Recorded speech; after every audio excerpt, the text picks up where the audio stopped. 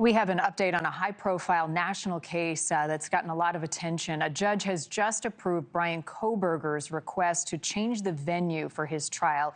He is the suspect and the primary suspect accused of murdering four college students in their home off of campus in Moscow, Idaho. Four University of Idaho students. The court has not yet specified where the case will take place and where the change of venue will be.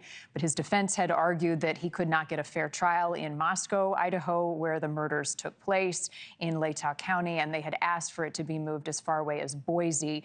But again, we will wait and find out exactly where that trial will take place once it begins next year. Thank you for watching. Go to newsnationnow.com to find News Nation on your television provider. And don't forget to click the red subscribe button below to get more of News Nation's fact driven, unbiased coverage.